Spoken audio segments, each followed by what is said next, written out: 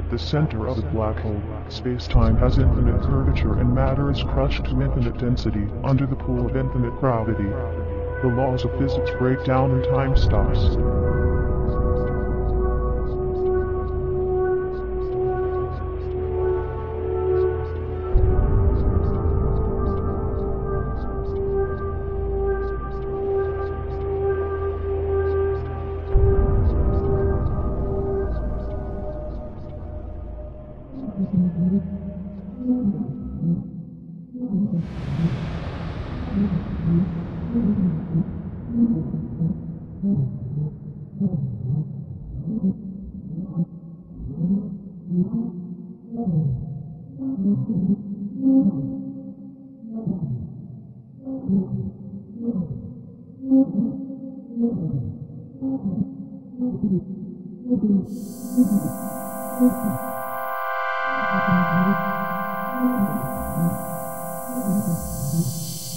Thank